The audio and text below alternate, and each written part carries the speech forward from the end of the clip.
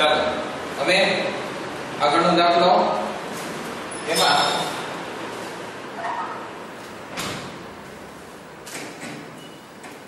બારમો દાખલો આપણે જોઈશું એક્ઝામ્પલનો જેમાં કીધું છે કે રાજીવના ચોપડા આમ નોંધ લખો. બરાબર? અલગ અલગ પ્રકારની ઘણી બધી આમ અહીંયા ભેગી આવશે. બરાબર? આખા મહિનાની આમ છે, અહીંયા આમ ઘણી બધી છે. અને શીખવાનું પણ અહીંયા ઘણું બધું છે. એટલે આ આની અંદર તમારે આમનો છે વધારે પ્રેક્ટિસ થશે, વધારે શીખવા મળશે, નવા નવા મુદ્દાઓ પણ આવરી લેવામાં આવ્યા છે. જેથી કરીને જે પણ મુદ્દાઓ છે એની પાછી પ્રેક્ટિસ થાય તો ક્લિયર થાય. એટલા માટે અહીંયા જે આમનો છે ઘણી મોટી આપવામાં છે. અને હવે એની અંદર જોઈએ ને અલગ અલગ પ્રકારના જે વ્યવહારો છે ને, એની આમનો આપણને અહીં આપવામાં આવી છે. જેમાં વ્યક્તિ ખાતાના વ્યવહારો છે, માલ ખાતાના મિલકતના ઉપજના, ખર્ચના આ બધા વ્યવહારો છે, એની નોંધ આપવામાં આવી છે. બરાબર? હવે આની અંદર કરશું શું? તો કે આમનોંધ આપણે લખશું જ. બરાબર? પણ હું તમને જે આમનોંધ છે, એ સામાન્ય રીતે બતાવી દઈશ. હવે તમને પ્રેક્ટિસ પડી ગઈ છે, એટલે કે જે તમને ન સમજાય એમાં તમારે ડિટેલમાં જોવાની રહેશે. બરાબર? એટલે ફોર્મેટમાં નહીં, પણ હું તમને એમનો આમનોંધ લખી દઈશ, અને પછી આગળ વધશું. એટલે જેથી કરીને આખો જે દાખલો છે એ તમારે કવર થઈ જાય. બરાબર? શરૂ કરીએ. જો ઓગસ્ટ 2014 ના વ્યવહાર આપેલા છે અહીંયા. બરાબર? ઓગસ્ટ 2014 બરાબર? વ્યવહાર આપ્યા છે. આ પહેલો વ્યવહાર છે કે જે ભાગીદાર છે એ રૂપિયા અથવા તો વસ્તુ કે મિલકત લાવી અને ધંધો શરૂ કરે છે. બરાબર? તો કઈ કઈ વસ્તુ લાવી ધંધો શરૂ કરે છે જોઈએ? પચાસ હજાર રોકડા, પચીસ હજાર ના લેણા, દસ હજાર ના દેવા અને પંદર હજાર ના પંદર હજાર નો માલ સ્ટોક ધંધામાં લઈ વેપાર શરૂ કર્યો. હજો રોકડા આપણને ખબર છે લેણા અને લેણદાર. કે જેને આપણે પૈસા ધંધાયા પૈસા હવે ચૂકવવાના છે. પછી દેવા, બરાબર? લેણા એટલે કે દેવાદાર. આપણે જેની પાસેથી લેવાના છે, ધંધાએ જેની પાસેથી પૈસા લેવાના છે, અને દેવા એટલે કે લેણદારો કે જેને ધંધાએ પૈસા આપવાના છે. અને 15000 નો માલ બરાબર? તો માલ છે એ. 15000 નો આમનું શું થાય? દેવાદાર ખાતે ઉધાર, રોકડ ખાતે ઉધાર 50000 પછી દેવાદાર ખાતે ઉધાર 25000 હજાર સ્ટોક ખાતે ઉધાર 15000 તે લેણદાર ખાતે દસ હજાર અને તે મોડી ખાતે બાકીના જે વધે. તો અહીંયા આમ નોંધ આપણે સિમ્પલી જોઈ લઈએ તો રોકડ ખાતે ઉધાર પચાસ હજાર થશે પેલી આમ નોંધમાં રોકડ ખાતે ઉધાર પચાસ હજાર પછી ધંધામાં બીજું શું આવશે તો કે દેવાદાર આવે છે દેવાદાર ખાતે ઉધાર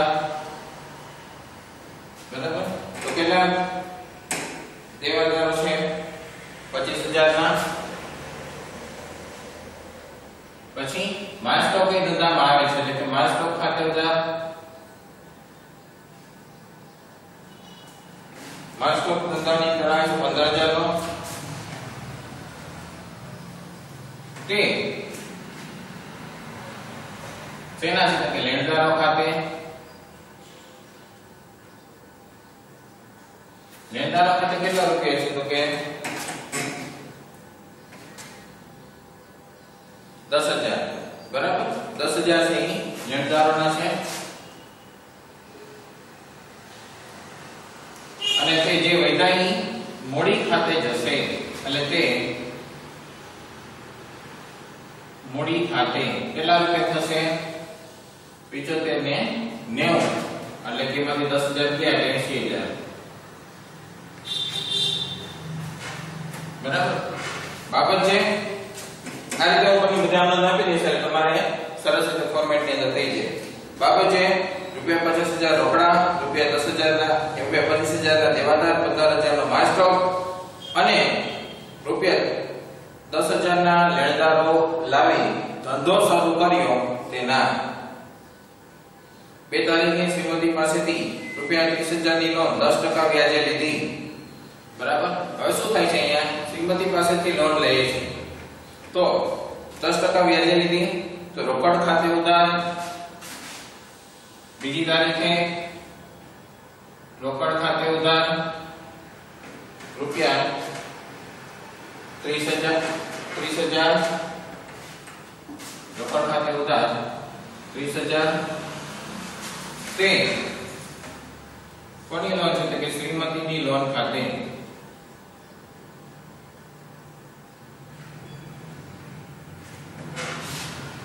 ત્રીસ હજાર. બરાબર? બાબત છે, રૂપિયા ત્રીસ હજારની શ્રીમતી પાસેથી દસ ટકાના વ્યાજે લોન લીધી તેના.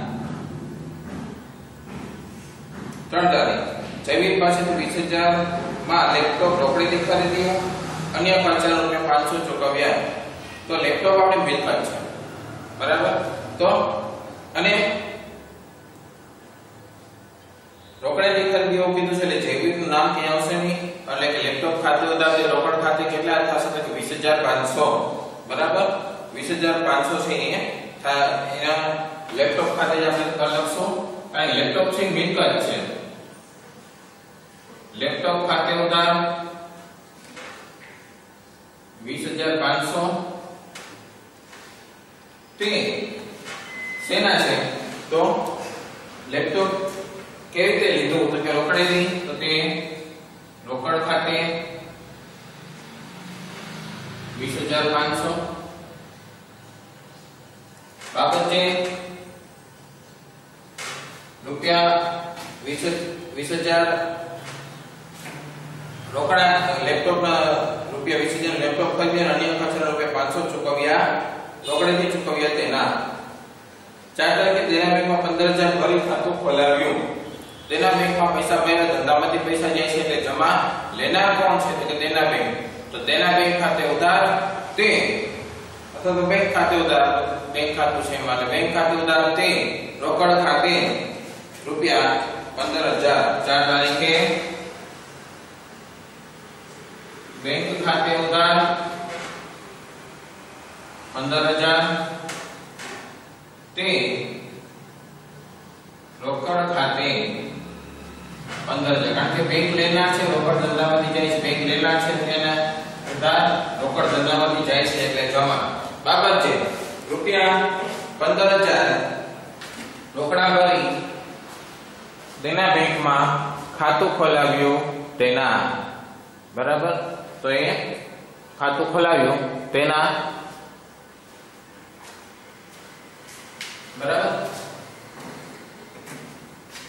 ત્યાર પછી પાંચ તારીખે રોયલ સ્ટોર્સ પાસેથી ત્રીસ હજારનો માલ દસ ટકા વેપારી વટાવે શાકભાત ખરીદ્યો. તેમણે આપણા વતી રેવન્યુના બે હજાર અને મજૂરીના એક હજાર ચૂકવ્યા. બરાબર? તો હવે રોયલ સ્ટોર્સ છે. તો એમને આપણે આવતી ચૂકવી દીધા એટલે આપણે કઈ નોંધ કરવાની જરૂર નથી, કારણ કે આપણે ત્યાંથી રોકડ આવક જાળવી કઈ નોંધ થતી નથી. એટલે રોયલ સ્ટોર્સ છે, એમાં 10% વેપારી વટાવ 30000 ના 10% એટલે કે 3000 30000 માં 3000 બાદ કરીએ ને 27000 ની એટલે આપણે લખશું. ખરીદ ખાતે ઉધાર રોયલ સ્ટોર્સનું નામ આપ્યું છે એટલે સાફ પણ ખરીદી એવું પણ કીધું છે, બે વસ્તુ અહીંયા આવી ગઈ. એટલે ઉધાર વ્યવહાર છે રોયલ સ્ટોર્સ ખાતે ઉધાર ખરીદ ખાતે ઉધાર તે સ્ટોર્સ ખાતે 27000 ખરીદી કરી છે. એટલે ખરીદ ખાતે ઉધાર 27000 તે કોણ આપનાર છે તો કે રોયલ સ્ટોર્સ તે રોયલ સ્ટોર્સ ખાતે 27000 બરાબર? બાબત છે. રૂપિયા 30000 નો માલ 10% વેપારી વટાવે રોયલ સ્ટોર્સમાંથી શાક પર ખરીદ્યો તેના. બરાબર, શાક પર ખરીદ્યો તેના.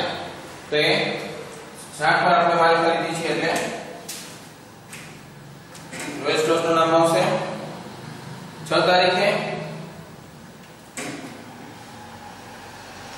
રોયલ સ્ટોર્સ પાસેથી ખરીદેલ માલ પૈકી પંદર હજારનો માલ, વીસ ટકા નફો ચડાવી દસ ટકા વેપારી વટાવે ભગવતીને વેચ્યો. તેમણે તેમના વતી આપણે રેલવે રોડના એક હજાર અને મજૂરીના પાંચસો ચૂકવ્યા. બરાબર? હવે અહીંયા એન્ટ્રી કેટલી થાય છે? સૌથી પહેલા એવું કીધું કે પંદર હજારનો માલ વીસ ટકા નફો ચડાવીને વેચ્યો.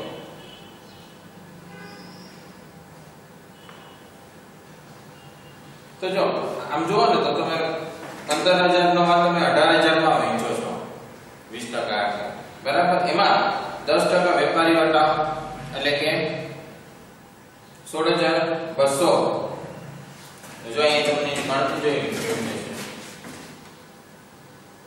વેચાણ કરીએ છીએ આપણે. વેચાણ છે, માલ છે અહીં. પંદર હજાર એમાં વીસ ટકા નફો ચડાવીને વેચ્યું વીસ ટકા એટલે કાલે વીસ ટકા એટલે ત્રણ હજાર એટલે આપણું વેચાણ છે એ અઢાર હજારનું થયું. બરાબર? પછી આમાં વેપારી વટા. દસ ટકા. એટલે કે અઢારસો.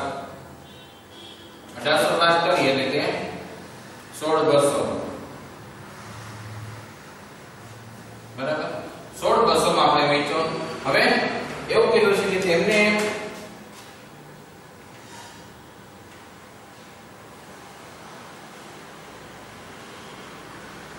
અને તેમના વતી આપણે રેલવે લોન 1000 અને મજૂરીના 500 ચૂકવ્યા બરાબર તો તેમના વતી આપણે ચૂકવી દીધા છે. એટલે આપણો ખર્ચ થઈ ગયો. એને કઈ લાગુ પડતો નથી. બરાબર? તો એ જે રૂપિયા છે એ કેટલા આવશે તો 16200 કઈ રીતે? તો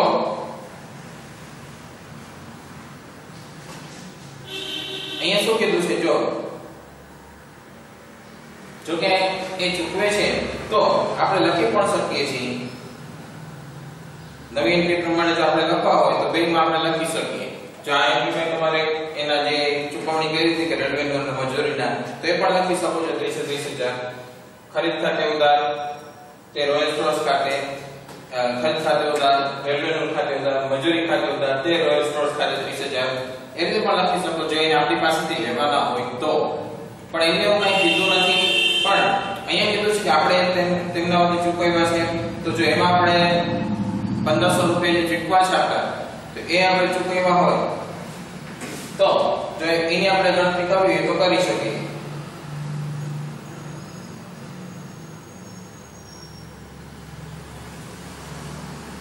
બરાબર? તો, એની ગણતરી આપણે કરી શકીએ. કે ખરીદ ખાતે ભગવતીને આપણે કેટલાનું વેચાણ કર્યું? સોળ હજાર બસો નું બરાબર? ભગવતી ખાતે, વેચાણ ખાતે અને તે રોકડ ખાતે 16201 છે યાદ રાખવાનું પછી અહીંયા છે એટ્રિયમ એની અંદર પણ આપણે જો કદાચ ઉમેર હોય તો ઉમેરી શકીએ છીએ અહીંયા આટલું તમે એક્સ્ટ્રા ઉમેર હોય તો ઉમેરી શકો પણ ખરીદ ખાતે ઉધાર રેલવે ન્યૂર ખાતે ઉધાર બરાબર 2000 પછી મજૂરી આપણે ચૂકવી છે તો મજૂરી ખાતે ઉધાર. બે એટલે તમારી સરખી એના માટે આપણે એન્ટ્રી કરવાની. એક હજાર આપણા વધી ચૂકવા છે, આપણે પછી ચૂકવાના એવો સમજી અને આપણે અહીંયા ઉધાર કરીશું. તે રોયલ સ્ટોર્સ ખાતે હજાર. સમજણ? આપણા વચ્ચે ચૂકવા આપણે એવું સમજી લેવાનું છે કે આપણે ભવિષ્યમાં એ પૈસા છે આપણે ચૂકવવાના છે. એટલે અત્યારે આપણે એના જમા કરી દઈએ છીએ. બરાબર? એ જ રીતે આપણે અહીંયા છ તારીખે લઈશું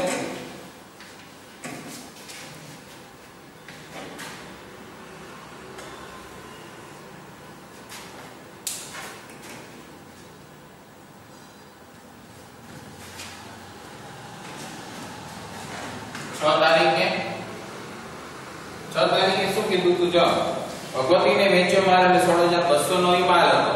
અને એમાં આપણે પંદરસો રૂપિયા એક્સ્ટ્રા ચૂકવાતા કે રેલવેનું હજાર અને મજૂરીના પાંચસો ચૂકવ્યા એટલે પંદરસો રૂપિયા રોકડેથી આપણે ચૂકવેલા હતા.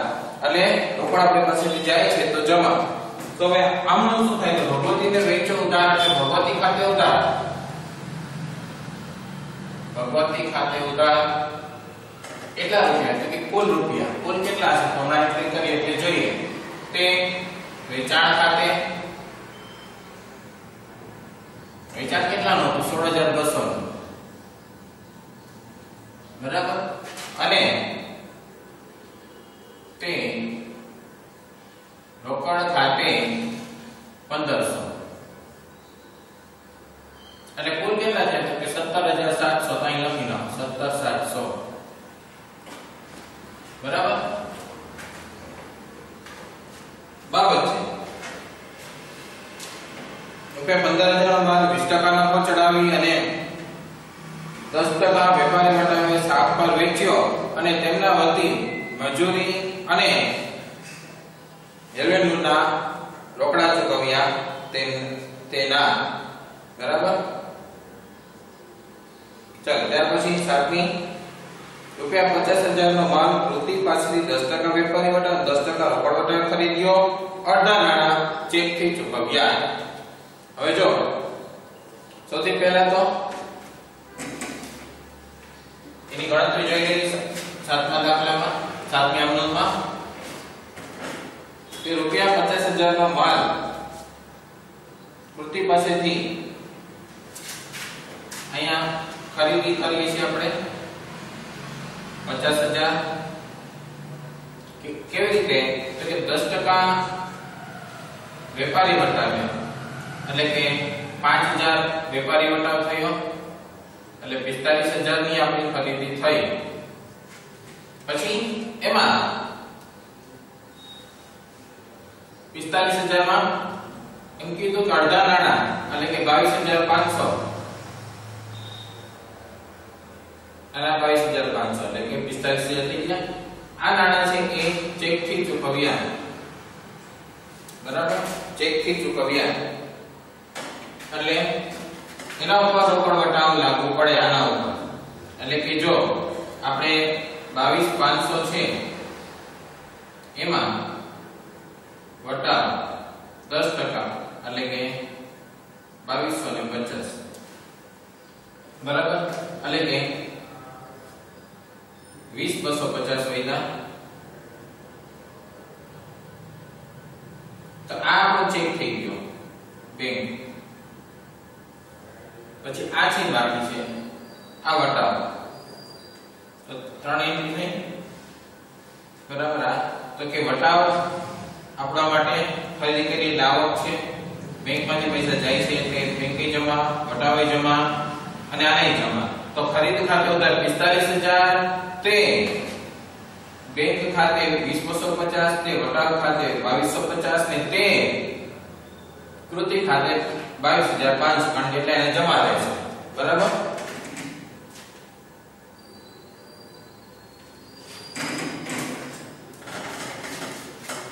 લાટુ યાદ રાખવાનું? 22550 2250 અને 22500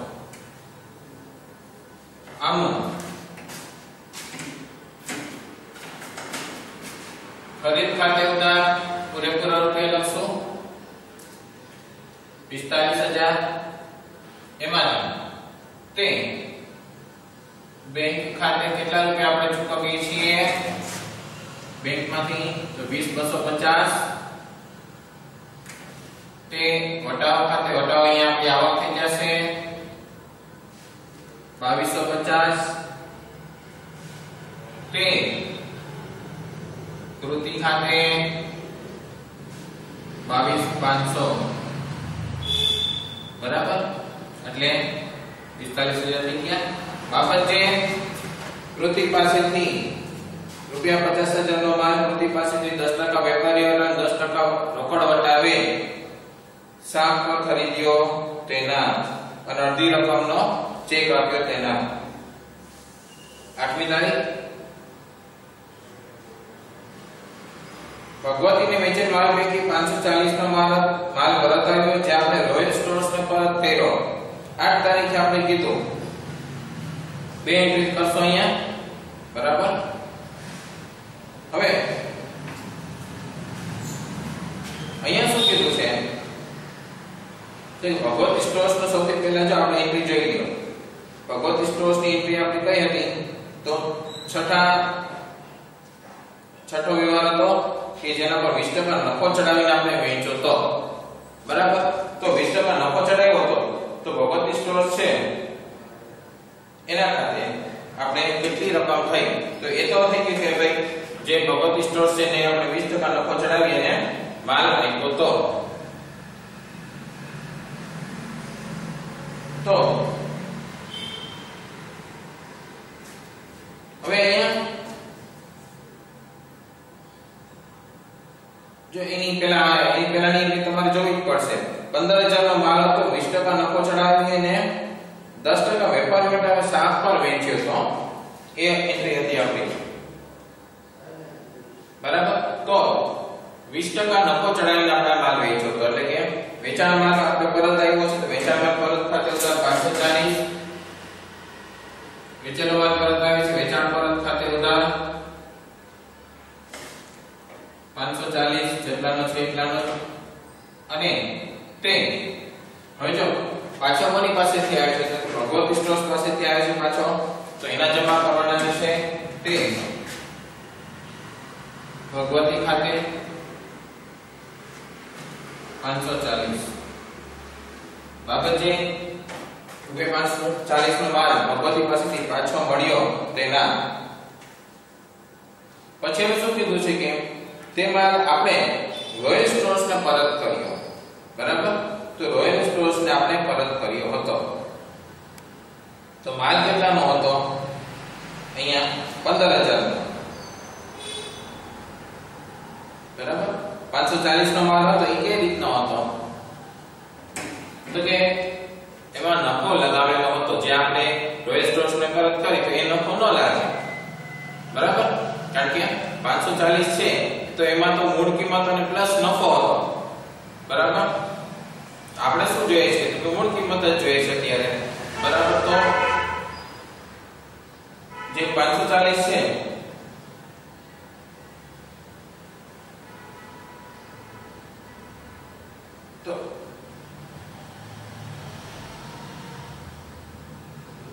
એમાં તમારે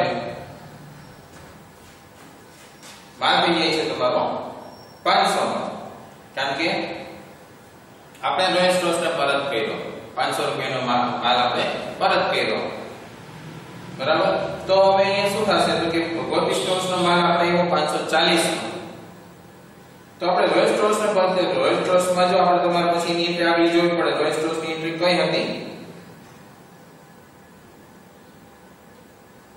તો 5 નંબરની એન્ટ્રી હતી કે જેમાં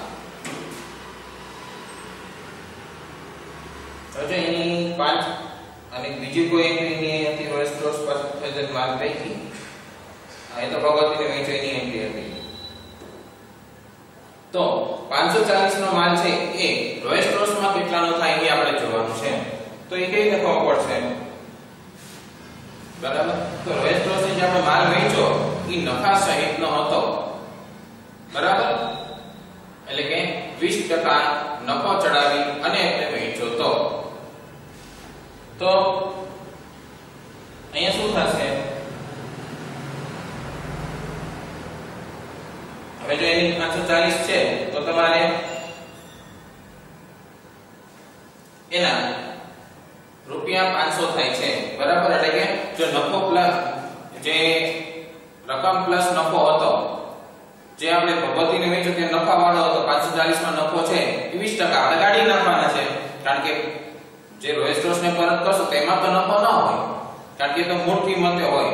તો એ, એમાંથી આપણે 20% નફો કાઢી નાખીએ એટલે 500 રૂપિયા બચે છે. તો એ એન્ટ્રી શું થશે? તો અહીંયા રોયલ સ્ટોર્સ ને પરત કરશે એટલે રોએસ્ટ્રોસ સ્ટોર્સ ખાતે ઉધાર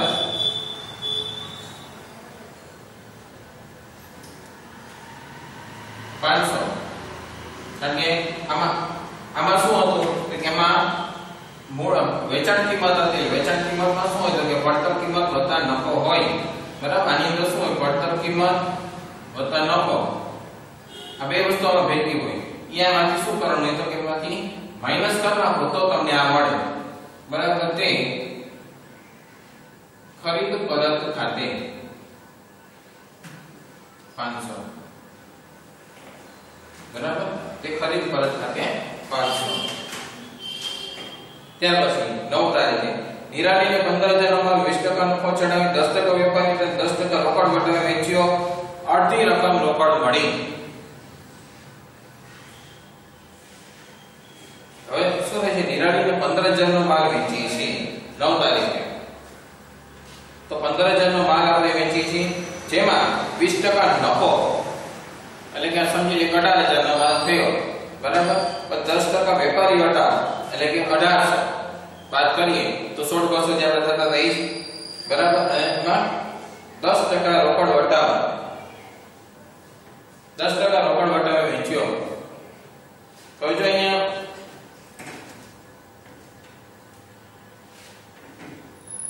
તમારી પાસે કેટલા તો કે જો ગણતરી તમે કરો તો માલ કેટલાનો હતો 15000 નો માલ 15000 નો એના ઉપર 20% નફો એટલે કે 3000 એટલે કે 18000 નો માલ 18000 નો માલ શું કહ્યું તો કે 10% વેપારી વટાવે દસ ટકા વેપારી એટલે અઢારસો એટલે કે સોળ બસો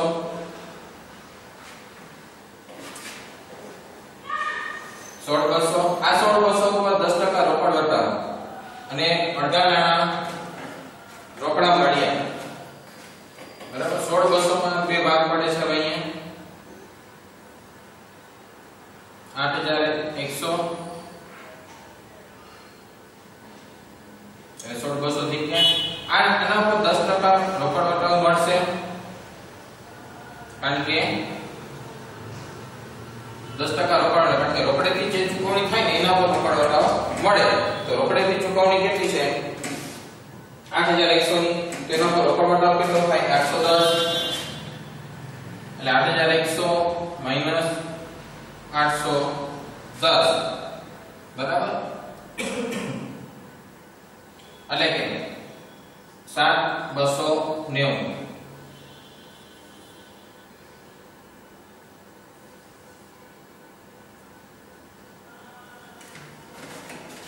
આમનું શું થશે આપણે? જો નિરાલી આપણે વેચ્યું છે અને નિરાળી ખાતે ઉધાર. અગિયાર ઉધાર એના છે? આઠ હજાર એકસો.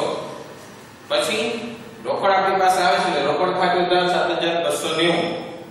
વટાવટ આપી છે વટાવ ખર્ચ છે એટલે વટાવ ખાતે ઉધાર આઠસો દસ. બરાબર. તે વેચાણ ખાતે સોળ બસો સમજાણું? એટલે આઠ હજાર એકસો સાત હજાર બસો નેવું. આઠસો દસ અને સોળ હજાર બસો ની એન્ટ્રી થાય.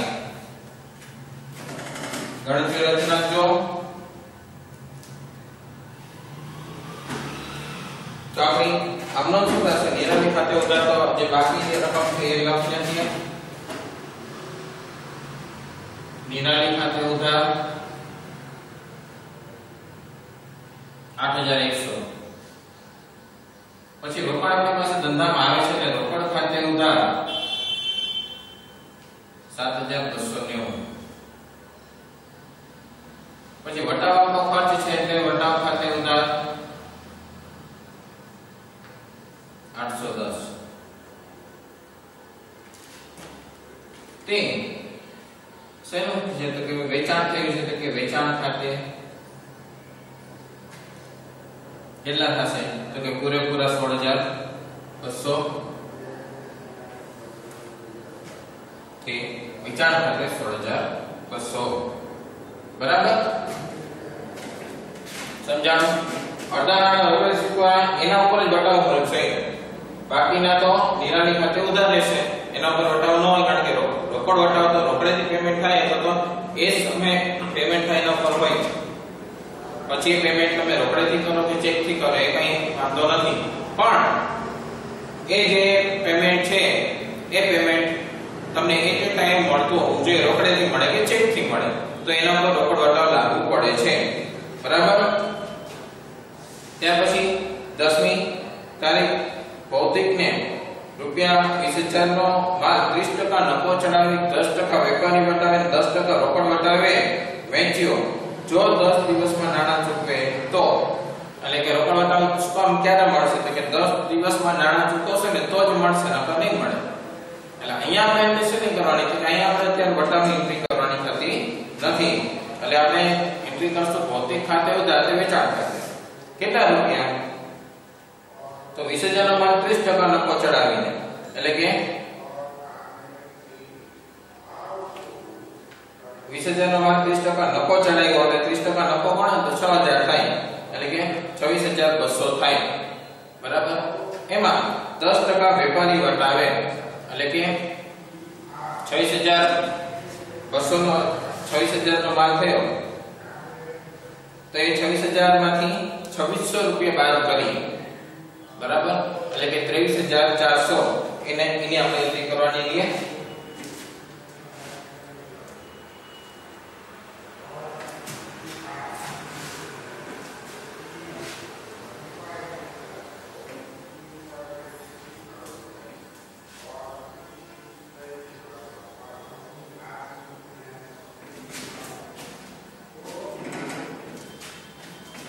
જો એ તમને એન્ટ્રી સમજાઈ દો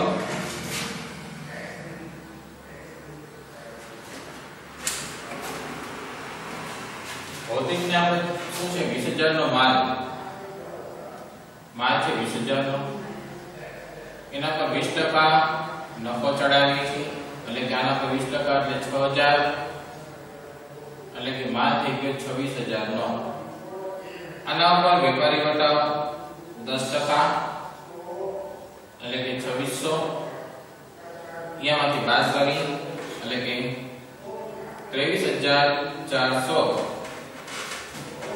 બરાબર 23400 છે એ એના ખાતે રહેશે તો આપણે આ એન્ટ્રી શું થશે ભૌતિક ખાતે ઉધાર 23400 તે વેચાણ ખાતે 23400 અત્યારે આપણે બીજી એન્ટ્રી કરવાની છે કારણ કે રોકડ વટાવ જો 10 દિવસમાં નાણાં ચૂકવે ને તો જ આપણે એને દેવાનું છે તેનું પેમેન્ટ આવશે તે જોશું આ તારીખે 10 દિવસ થાય છે કે નહીં 10 તારીખથી ગણતરી કરશો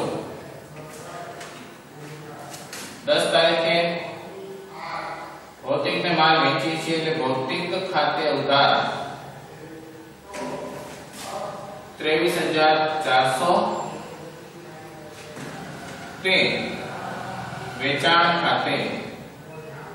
કારણ કે માલ વેચીએ છીએ, એટલે કે વેચાણ ખાતે 23400 અગિયાર તારીખ. ગુજરાત સમાચારનું જાહેરાત બિલ 1500 ચૂકવ્યું. તો જાહેરાત બિલ એટલે કે જાહેરાત આપણો ખર્ચ છે ધંધાનો ખર્ચ છે, એટલે જાહેરાત ખર્ચ ખાતે ઉધાર તે રોકડ ખાતે 1500 કારણ રોકડેથી ચૂકવ્યું હોય. એટલે રોકડ ખાતે જાહેરાત ખર્ચ ખાતે ઉધાર 1500 તે રોકડ ખાતે 1500 કારણ કે આ આપણે રોકડેથી ચૂકવતો નાના મોટા ખર્ચ છે કે જે ઓછી રકમના અથવા તો ઓછી રકમના ખર્ચ છે, આપણે રોકડે ચૂકવી દેતા હોય. એટલે અથવા તો એની અંદર ચોખવટ હોય કે રોકડેથી ચૂકવ્યું, તો પછી એને હવે ચોખવટ નથી.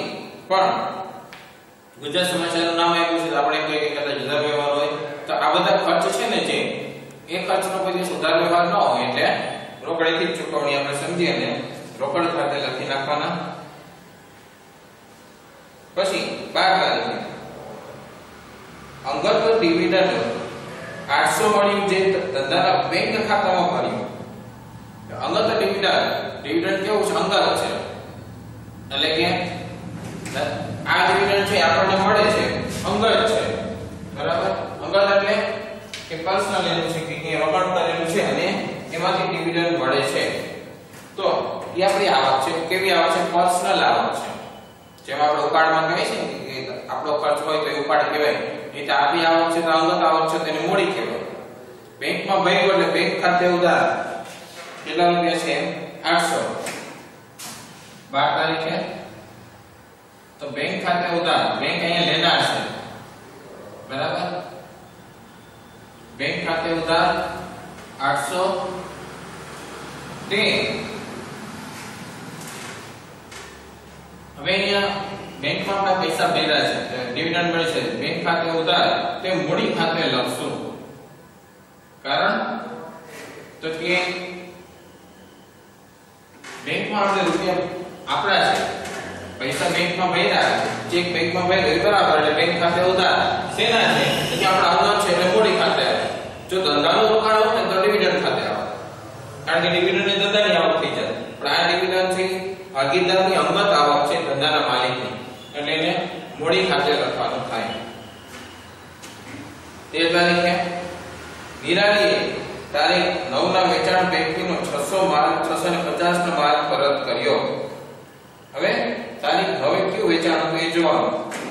કે જેમાં 15000 નો માલ 20% નફો ચડાવે 10% વેપાર ઉઠાવ 10% રોકડ વટાવે વેચ્યો તો એના હતા. તો આપણે જે 650 નો માલ કરતા હોય છે, તેની ગણતરી કરવાની. તો તે તારીખે વેચેલો માલ પરત આવે છે. કારણ કે જો તારીખ 9 માં શું હતું? કે નિરાલીને આપણે માલ વેચ્યો હતો. બરાબર? નિરાલીને માલ વેચ્યો હતો, એટલે એ માલ આપણને પરત આવે છે. એટલે વેચેલો માલ પરત, એટલે વેચાણ પરત ખાતે ઉદાહરણ તે નિરાલી ખાતે, કારણ કે નિરાલી અહીંયા આપનાર છે. તો નિરાલી ખાતે જમા થશે વેચેલો માલ પરત એટલે કે વેચાણ પરત ખાતે ઉધાર રૂપિયા છસો પચાસ તે આપનાર કોણ છે તો કે નિરાલી તે નિરાલી ખાતે રૂપિયા છસો પચાસ તે નિરાલી ખાતે નો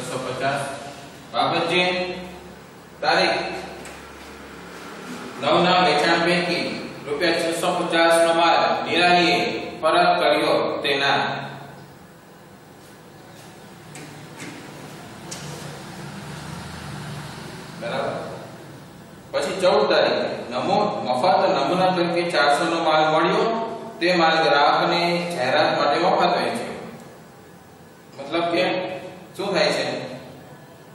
માલ નમૂના તરીકે આપણને મફત મળ્યો એટલે માલ આવ્યો ત્યારે કોઈ આર્થિક એન્ટ્રી થઈ નહીં, નાણાંની કોઈ લેવડ દેવડ થઈ નહીં. આ જ માલ ગ્રાહકને આપણે નમૂના તરીકે મફત આપ્યો. બરાબર? ઘણી વખત આપણે ગ્રાહકોને આવો માલ આપતા જાહેરાત માટે જેથી કરીને વસ્તુની જાહેરાત થાય. તો આપણને ફ્રીમાં આવ્યો છે તો આપણે ફ્રીમાં દઈશું તો આપણે પણ ગ્રાહકને જાહેરાત માટે મફત આપ્યો.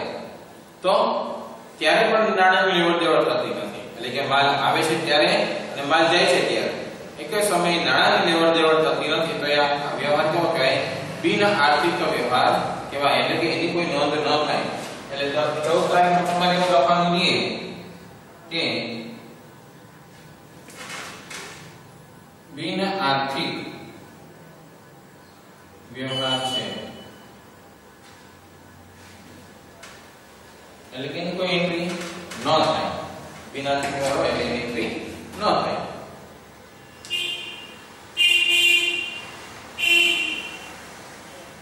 હવે 15 તારીખે ભૌતિક પાસેથી અડધી રકમનો ચેક મળ્યો અને રોકડ વટાવ કાપી આપ્યો.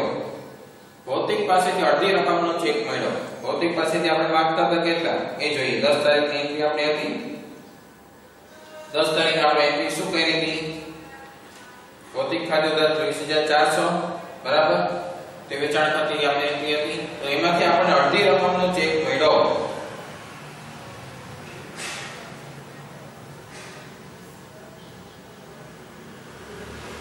બરાબર? અડધી રકમનો ચેક મળ્યો અને વટાવ કાપી આપ્યો.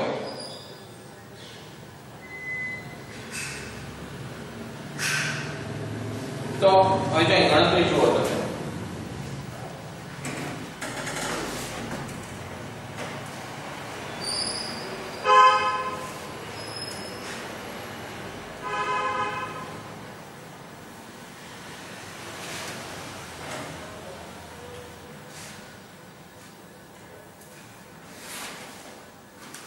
ભૌતિક પાસેથી આપણે માંગતા હતા કેટલા ભૌતિકને આપણે વેચાણ કરેલું હતું બરાબર એમાંથી વેચાણ હતું આપણું ત્રેવીસ ચારસો 95 તો એમાંથી શું કીધું અડધી રકમનો ચેક મળ્યો અડધી રકમ એટલે કે 11700 નો ચેક અડધી રકમનો ચેક મળ્યો એટલે 11700 છે આપણે કીધું 10 દિવસમાં જેમાં કન્ડિશન હતી કે 10 દિવસમાં નાણાં ચૂકવે તો 10% વટાવ આપવાનો હતો બરાબર 10 તારીખ મેં એવું કીધું હતું ને કે 10% રોકડ વટાવે જો 10 દિવસમાં નાણાં ચૂકવે તો 10 દિવસમાં આપણે કઈ તારીખે એન્ટ્રી કરીશી 15 તારીખે પૈસા મળે છે એટલે કે હજી 10 દિવસ થયા નથી 10 દિવસની અંદર છે એટલે રોકડ વટાવ આપવાનો થાય બરાબર આના ઉપર તમારે રોકડ વટાવની ગણતરી કરવાની થાય તો હવે આના પર રોકડ વટાવ મળી શકે રોકડ વટાવ 10% એટલે કે 1170 રૂપિયા રોકડ વટાવ થાય. એટલે કેટલા બચે છે?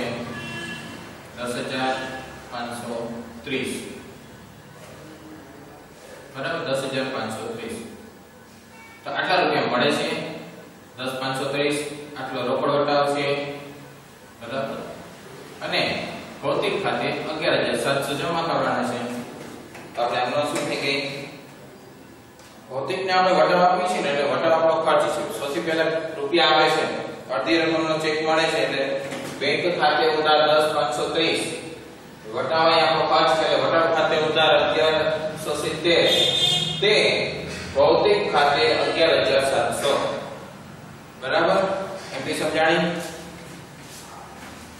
15 તારીખે જો એન્ટ્રી કરીએ છીએ ચેક આવે છે એટલે બેંક ખાતે ઉધાર બેંક ખાતે ઉધાર કેટલા થશે 10530 10530 તે હજી વટાવનો કરશે વટાવ ખાતે ઉધાર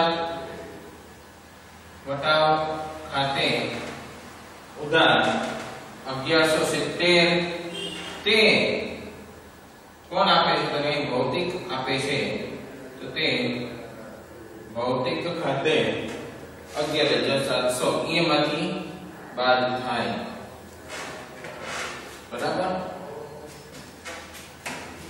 બાબતે રૂપિયા ત્રીસ હજાર ચારસો ના લેણા પેટી ભૌતિક કે અડધી રકમનો, એટલે કે દસ પાંચસો ત્રીસ નો ચેક આપ્યો અને અગિયારસો સિત્તેર રૂપિયા પટાવ કાપી આપ્યો તે ના બરાબર? લાઈન પી થાય બરાબર? હજી એમપી ઘણી બધીઓ છે. પંદરથી સોળ એમપીઓ છે, એટલે હજી દાખલો ઘણો બધો બાકી છે, જે આપણે નેક્સ્ટ લેક્ચરની અંદર જોશું. ત્યાં સુધી જ્યાં એન્ટ્રીઓ કરી, એ ખાસ કરીને જોઈ લેવાની છે કે જેથી કરીને તમારે આમાં કોઈ પ્રોબ્લેમ ન પડે, કારણ કે આપણે ઘણું બધું નવું આવ્યું અથવા તો ગણતરીઓ ગણી બરાબર? સામાન્ય કરતાં વધારે ગણતરીઓ આવી. એટલે આ પ્રકારના દાખલા છે એ ખાસ જોવાના, કે જેથી કરીને તમારે વધારે